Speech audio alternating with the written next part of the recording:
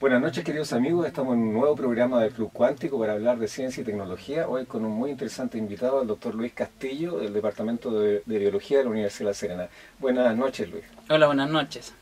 Eh, Luis, bueno, eh, vamos a conversar, estábamos conversando antes del programa de, tu trabajo, yo quisiera que nos explicara, estábamos hablando de los hongos, quisiera que nos explicara en qué consiste tu trabajo, qué es lo que estás haciendo hoy día en la Universidad de La Serena y esto por qué es de interés. Ok, em, en primer lugar tenemos que definir qué es lo que son los hongos. Los hongos son organismos eh, eucariontes, quiere decir que tienen un núcleo definido, a diferencia de, las bacterias que no tienen un núcleo definido. Y ah, parecen plantas, pero no, no, lo son. La gente piensa que los hongos que crecen en, nuestros jardines muchas veces son plantas. No lo son porque no son capaces de eh, utilizar eh, la luz para generar sus, su alimento. Por lo tanto, los hongos lo que son realmente son saprófitos, necesitan eh, obviamente consumir eh, alimento eh, utilizando a lo mejor una planta, incluso insectos o u otro organismo. Entonces, el interés de nosotros es que muchos de los hongos que nosotros tenemos en los campos de cultivo son de gran interés para el país, ya que el país produce muchas frutas y exporta muchas frutas, sobre todo la uva. Entonces, uno de los hongos particularmente que es Botrytis eh, produce cerca del 15 a 20% de pérdidas anuales, que son millones de dólares a los productores. Entonces nosotros tratamos de eh, caracterizar e identificar genes que nos puedan ayudar en un futuro a eh, producir drogas para inhibir el, este hongo. Luis, una, pregunta de ignorante. tú, tú, dices que son bueno son, son eucariontes los hongos, eso quiere decir que son células que además están son organismos celulares con células aisladas pero que cooperan entre sí?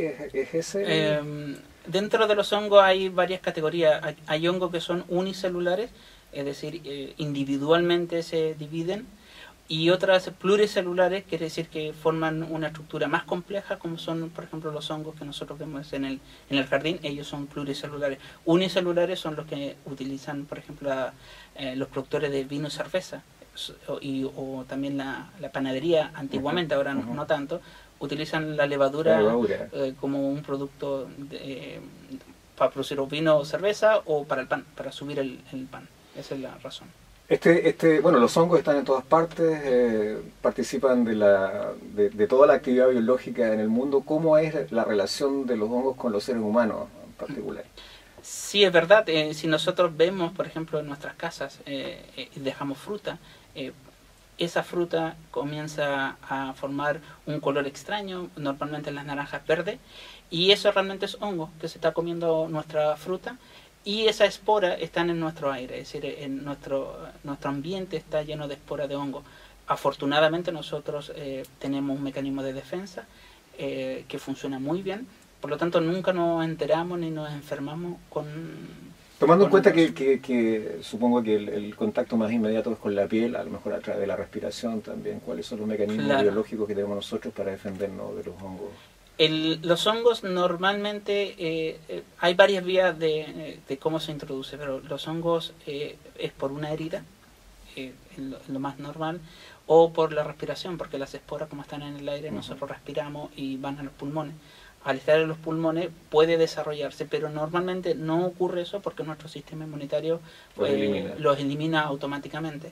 Cuando uno se enferma, eh, cuando uno se encuentra en los hospitales, es principalmente la UCI, donde hay gente que es trasplantada o gente con, eh, con el virus del VIH. Entonces ellos sí que son más propensos a adquirir esta enfermedad constantemente. tú me estabas contando una cosa muy interesante que tenía que ver con la forma en que adquieren resistencia o tienen resistencia respecto de los remedios que nosotros usamos habitualmente, los medicamentos, para defendernos de ellos. Exactamente. Eh, no todos eh, los hongos eh, funcionan de la misma manera, pero hay hongos, especialmente los que atacan a, los seres humanos, que tienen un mecanismo de defensa, que tienen como una bomba que eh, permite expulsar las drogas hacia el exterior. Entonces, eh, eh, esa es la razón por qué nos cuesta mucho, a pesar de que el sistema inmunitario está bajo en estas personas, obviamente los médicos le dan antifúngicos, pero muchas veces les cuesta. ¿Y cómo reconocen que, es una droga o que cómo distinguen los elementos químicos que absorben del, del medio?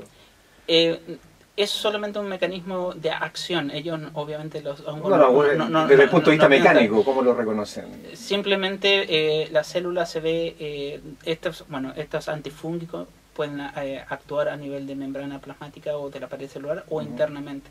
Los que funcionan internamente, ellos tienen un mecanismo que se activa cuando reconocen esta droga, es decir, ellos tienen la capacidad de reconocer y expulsar esta droga hacia el exterior. Fantástico que en, en, en, este hoy día, eh, ¿cuál es el trabajo que están realizando ustedes específicamente? Nosotros lo que hacemos en el laboratorio es eh, elegir, hemos elegido una selección de genes que estamos delesionando, quiere decir que nosotros bloqueamos la, la función de este gen y este gen, como deja de funcionar, nosotros después analizamos lo que se denomina fenotipo, es decir, cómo crece el hongo en condiciones normales, si es patógeno en planta, porque lo que nosotros, en nuestro hongo es patógeno en planta, si no es patógeno en planta, entonces eh, explicar más o menos cuáles son los mecanismos del por qué no son, no son patógenos. Obviamente todo nuestro foco está pensado en un futuro, crear drogas que puedan eh, bloquear esa acción del gen, porque si ya sabes que bloqueándolo eh, no es virulento, entonces nos faltaría el segundo paso. Cuéntanos ahora cómo se ha conformado tu equipo de trabajo aquí en la Universidad de La Serena, los laboratorios, etcétera. ¿Algún detalle respecto a eso? Uh, sí, eh, yo llegué a fines del 2010 desde, desde la Universidad de Aberdeen en Escocia y tuve la suerte y oportunidad de poder ganarme un proyecto Fondesia del 2011 al 2013 en ese proyecto hemos podido eh, formar gente, eh, como tres estudiantes de magíster y dos estudiantes de pregrado, que han tenido la oportunidad de trabajar en un laboratorio, eh, yo diría, de alto nivel, ya que hemos podido hacer em, investigaciones de gran interés, como de lesionar varios genes que nosotros ya tenemos en el laboratorio, y también trabajar en biología molecular, que era una herramienta que antiguamente no existía en el laboratorio y ahora sí que estamos en condiciones de, seguir. Eh, gracias a esto también hemos podido eh, ganarnos un proyecto que es el Grupo Millennium, que justamente fue en diciembre del año pasado, y en colaboración con otras instituciones como la eh, Pontificia Universidad Católica, con Luis Larrondo, la Universidad de Chile Angélica Ganga y Jorge Valdés del Instituto Fraunhofer. Eh, tu, tu se enlaza con el milenio. El milenio es seguramente una investigación aún más amplia. ¿En qué consiste? Exactamente. Eh, nosotros en el grupo Millennium eh, estamos focalizados en hongos.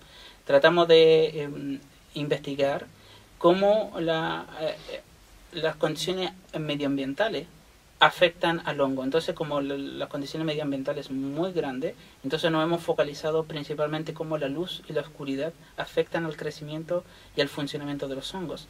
Entonces, eh, nuestro trabajo está principalmente focalizado en construir o, fabricar realmente mutantes que sean eh, eh, defectuosos en la pared celular y ver cómo la pared celular tiene alguna influencia con la luz y oscuridad.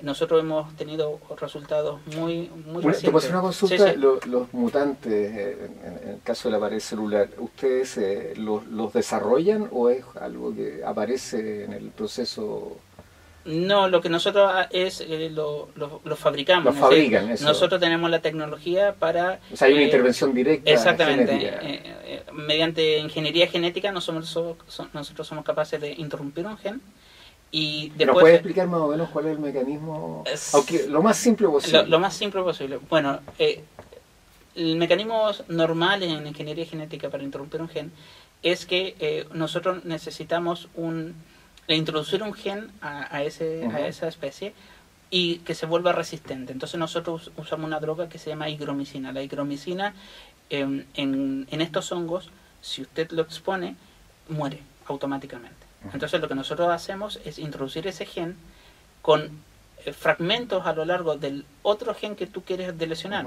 eh, el, el, botritis, el otro es un gen eh, de un antibiótico diferente.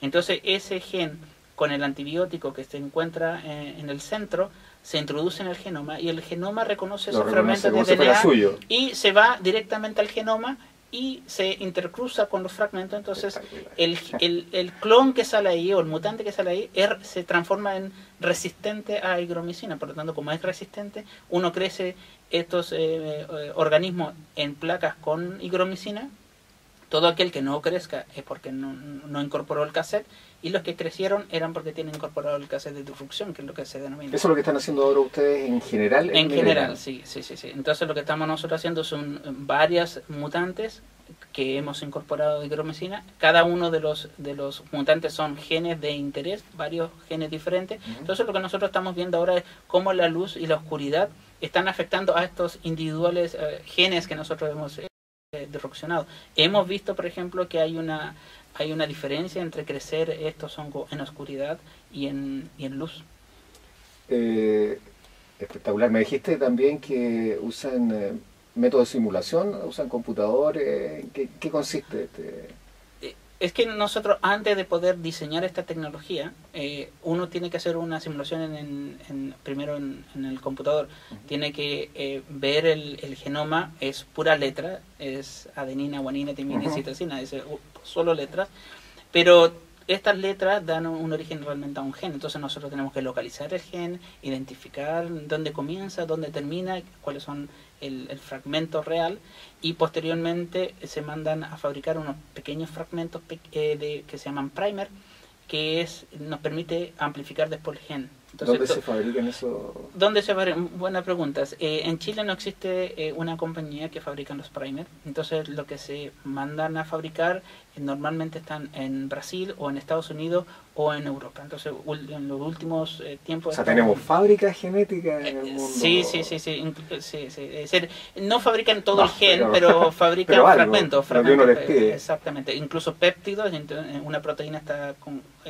Un, em, construida con diferentes péptidos, entonces uno puede mandar a fabricar péptidos. esto es La próxima semana voy a hacer una solicitud de péptidos. Exactamente. ¿Y en qué, en qué fase va la investigación que tienen ustedes ahora? En el, bueno, en el grupo Milenio acabamos de comenzar, es en, en enero de este año hemos comenzado, por lo tanto hemos avanzado poco, pero hemos visto, por ejemplo, que botrite, que es el hongo que afecta a las plantas, crece muy rápido eh, durante la noche en vez de día. Entonces, eso es una pregunta interesante porque eh, hay que, claro, preguntarse a los agricultores cuándo utilizan eh, los antifúngicos, durante el día o durante la noche. ¿Y hay algún mecanismo que explique el que crezcan más de noche que de día? O...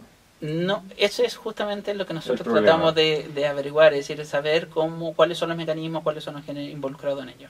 Eh, estos hongos, la gran mayoría de los hongos filamentosos, los que son eh, multicelulares, eh, se ha descubierto que tienen un ciclo circadiano, igual que los seres humanos.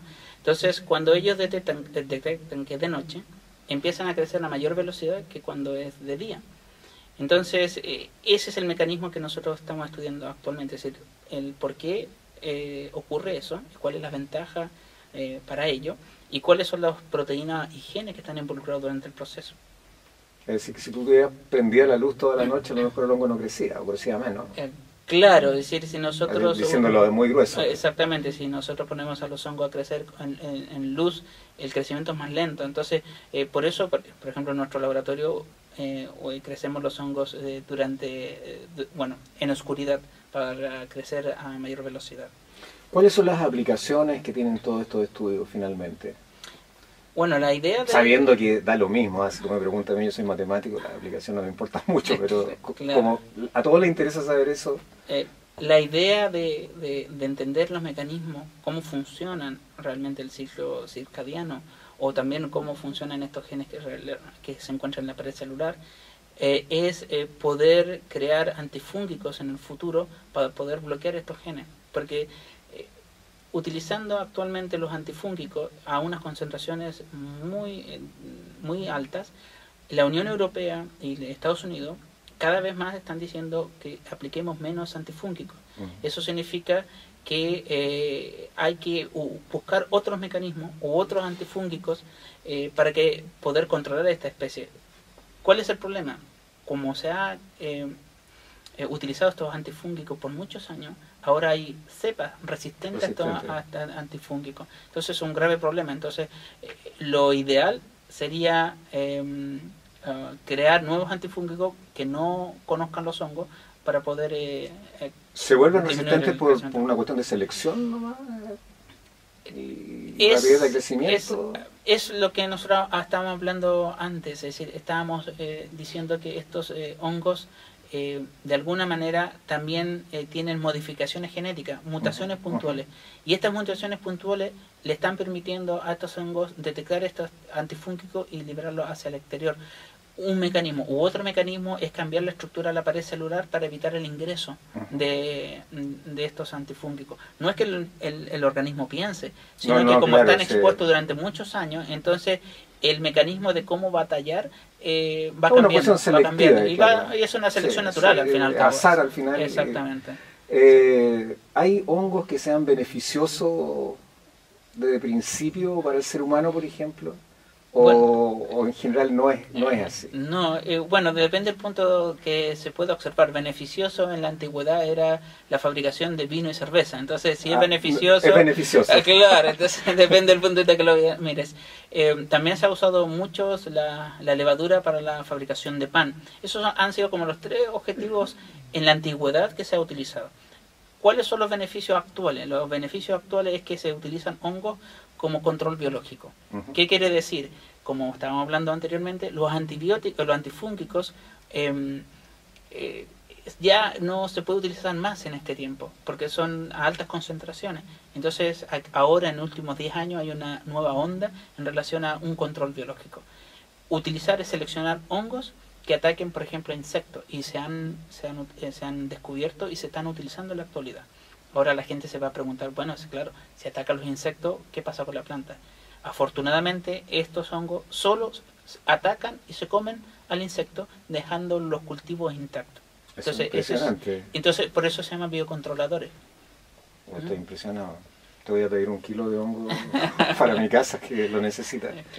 Eh, me dijiste que tenías bastantes equipos ahora implementados en el laboratorio. ¿No nos cuentas un poquito tienes eh, microscopios nuevos. Exactamente. Nosotros eh, utilizamos eh, diversos equipos, entre ellos un microscopio de fluorescencia y eso nos permite, por ejemplo, cuando introducimos a lo mejor un gen fluorescente, podemos saber ese gen, esa proteína, perdón, dónde está localizada, porque empieza a dar fluorescencia. Podemos ver si está en el núcleo, está en la membrana, está en el citoplasma, está en la pared del núcleo, o simplemente está en el exterior, porque muchas eh, proteínas, a lo mejor la gente no sabe, pero muchas proteínas eh, que están dentro de la célula salen porque su función es eh, ser excretadas al exterior. Esa es una, una de las funciones. Los otros equipos que nosotros tenemos son para para localizar y, visualizar ADN, porque el ADN se necesita unas fuentes especiales para transferirlo y después para visualizar. eso lo hacen ustedes mismos en el todo, laboratorio? Todo, todo, todo en el laboratorio. Nosotros somos capaces de obtener ADN, somos capaces de visualizar el ADN en unos geles especiales, somos capaces de seleccionar genes.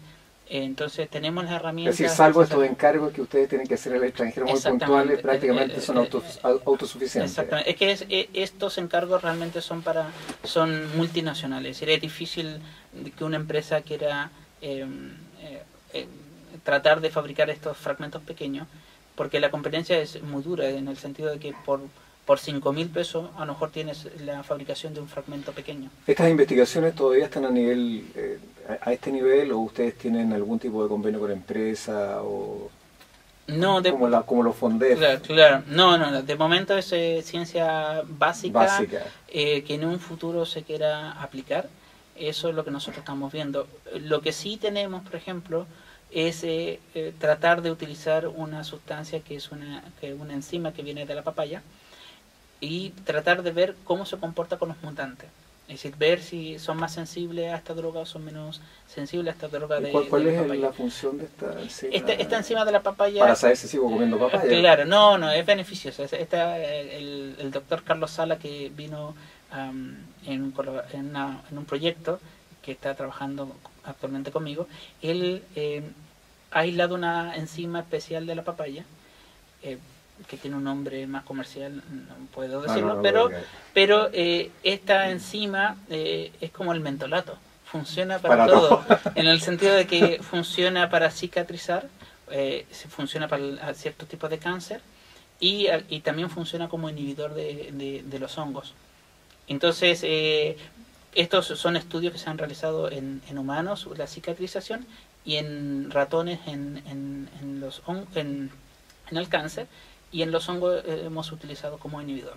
Eh, espero que cuando terminemos el programa me den el nombre de la, de la de la enzima. Claro, exactamente. Eh, ¿Cuáles son tu- tus perspectivas a futuro? Yo creo que eh, como un buen investigador nosotros tratamos de crecer como laboratorio y también crecer como como, como investigación. es Porque gente que tienen estudiantes de posgrado, de Eh, de- pregrado, en este momento incorporados a su equipo. Exactamente. Entonces lo que nosotros queremos es crecer, no solamente en el laboratorio, sino que también crecer y tomar a lo mejor eh, investigaciones a lo mejor más fuertes o de aplicación, que sería el paso siguiente. es decir, Vi tu nombre en el utilizar- doctorado de, de Ingeniería en Alimentos. En alimentos, sí, exactamente. Incorporado completamente a la institución. Exactamente. ¿Estás Sería- en el BEA también? Ah, Sí, sí, participo en el doctorado del BEA y el doctorado de alimentos. Simplemente Es como por- la enzima de la papaya. Ah, claro, para, Eso. para- claro. Es que eh, eh, yo creo que por mi formación, por trabajar en, en- en casi en biotecnología, es necesario que los estudiantes actuales, no solamente los de posgrado, sino los de pregrado, sepan que existe también una, una herramienta muy útil que, que permite o les permitirá a los futuros científicos utilizarla, que es la biotecnología. ¿Te parece que es necesario que crezca este equipo que tú tienes? Yo, yo creo que sí, lo, lo ideal sería incorporar a lo mejor otro doctor eh, del mismo campo que pudiésemos colaborar en conjunto y formar un, un grupo bien, eh, bien cohesivo. Eh, no sé si quieres, estamos llegando al final del programa, se ha hecho cortito y muy interesante. Eh, estás comprometido a darme el nombre de la, de la enzima, el nombre comercial. Eh, no sé si tú quieres decirle algo a nuestros auditores y telespectadores por YouTube. Ya, eh, no agradecer simplemente la invitación, ya que estos tipos, eh, este tipo de, de- de información es difícil expandirla más allá del laboratorio. Eh, invito también a toda la gente a, a investigar un poco más, no solamente en, en internet, sino que a lo mejor en, los labora- en mi laboratorio, eh, más acerca de los hongos, cuál es el beneficio, y no, so- y no solamente los hongos, sino que cómo la biotecnología nos puede ayudar en el futuro. Luis, te agradezco mucho tu participación en este programa del Club Cuántico. Ha sido muy bonita y muy interesante la conversación y espero que estemos juntos en una nueva oportunidad. A todos ustedes muy buenas noches y nos vemos dentro de 15 días en su Club Cuántico.